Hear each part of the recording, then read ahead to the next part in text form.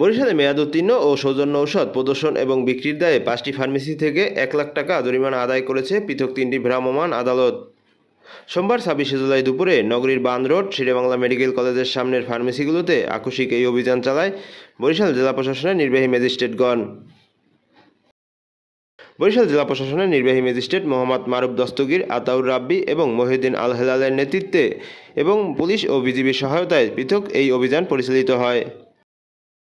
এ সময় মেয়াদ উত্তীর্ণ ও সৌজন্য ঔষধ প্রদর্শন এবং বিক্রির দায়ে বরগুনা মেডিকেল হল থেকে বিশ হাজার, পলি মেডিকেল হল থেকে দশ হাজার, জাহানারা মেডিকেল হল থেকে তিরিশ হাজার মহাসিন মেডিকেল হল থেকে তিরিশ হাজার এবং রূপালী মেডিকেল স্টোর থেকে দশ হাজার টাকা জরিমানা আদায় করেন ভ্রাম্যমাণ আদালত।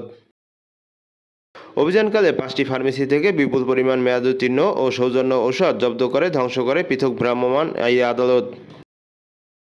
জনস্বার্থে এই অভিযান চলবে বলে জানিয়েছেন বরিশাল জেলা প্রশাসক জসিমউদ্দিন হায়দার।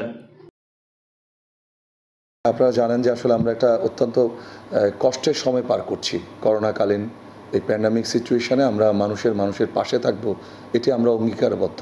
সরকার, মাননীয় প্রধানমন্ত্রী এবং জেলা প্রশাসন।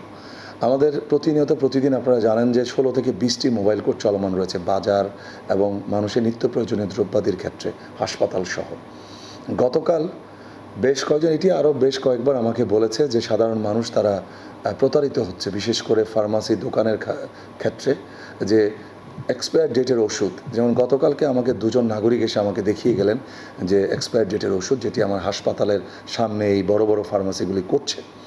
তাৎক্ষণিকভাবে আমি তখন রাতের বেলা মোবাইল কোর্ট আমি ভাবলাম যে আজকে সকালে করব এবং আমরা তাৎক্ষণিকভাবে আমার অতিরিক্ত জেলা ম্যাজিস্ট্রেট গৌতম বারোর নেতৃত্বে আমি চারটি মোবাইল কোর্ট সেখানে পাঠাই।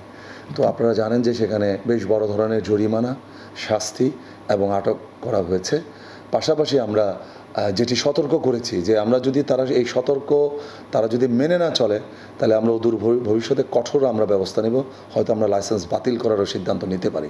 তো আমি অনুরোধ করব, এই অসাধু যারা ব্যবসায়ী, যারা করছেন, তাদেরকে সতর্ক করেছি, শাস্তি দিয়েছি।